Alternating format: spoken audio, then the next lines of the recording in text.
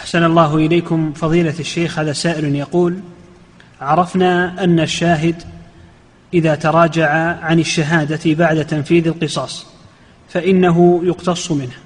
نعم. هل إذا تنازل أولياء القتيل عن القصاص وطالبوا بالدية يقبل منهم ذلك؟ نعم. لأن الدية بديلة عن القصاص. حقهم القصاص فإذا تنازلوا عن القصاص إلى المال لهم ذلك. نعم. إعداد مشروع كبار العلماء بالكويت أعزها الله بالتوحيد والسنة.